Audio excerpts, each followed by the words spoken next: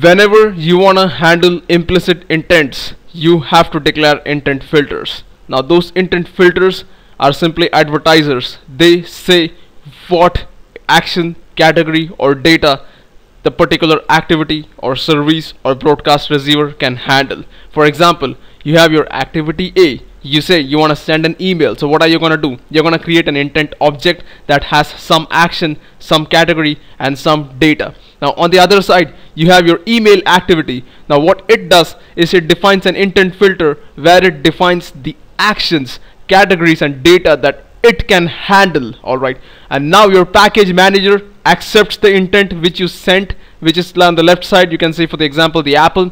It compares the action category and data requested by you through the intent with the action category and data inside the intent filter. And if they match then that activity is called and that's how your email activity gets called through implicit intents. So I hope you guys have understood what intent filters are now. Intent filters are on the other side of the picture. You send an intent and that intent gets compared by the intent filter on the receiving side to check if it matches. If it matches then that activity or service or broadcast receiver is called. Otherwise bam nothing happens so like I said, an intent filter describes what action, data or categories that the component can handle. They are mostly defined inside your manifest file. Now for each activity or service or broadcast receiver, if you want them to handle implicit intents, you have to declare intent filters because that's the way they are going to be compared, right?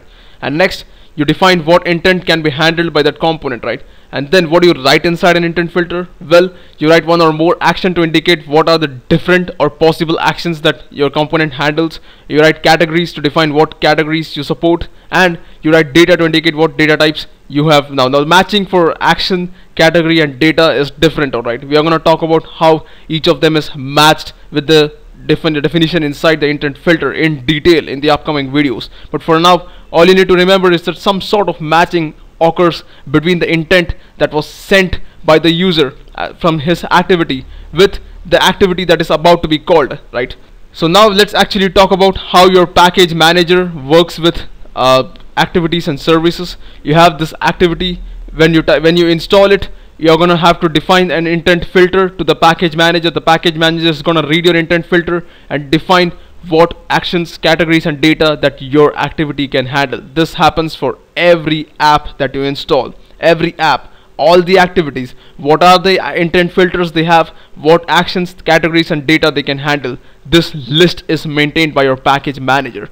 So now here's the question it has. How many activities or services does the app have and what intents can be handled by each activity or service? Now this data is managed by your package manager alright so now when someone says that I have an intent with this action this category this data can you do something about this? The package manager is gonna take that intent. It's gonna compare it with the list of activities and the list of services it has and check the intent filter for each with this information and when it finds no one it says no apps can perform this action. When it does find someone it's gonna start that activity directly. And and it when it finds more than one person who can handle that intent then it's gonna go ahead and give you this list where it says complete action using A, B, C. So this is what your intent resolution process is all about. This process is actually called intent resolution in Android and I hope you guys have understood what intent resolution is.